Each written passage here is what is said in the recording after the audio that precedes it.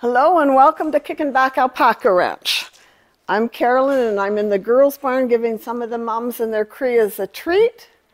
As you can see, they love their treats. Are you looking to do something interesting and fun, a chance for you just to relax and unwind?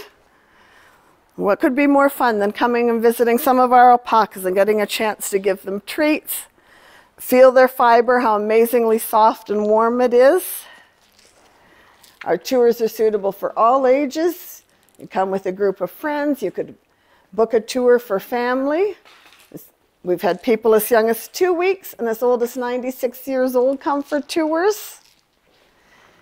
And the barn's wheelchair accessible.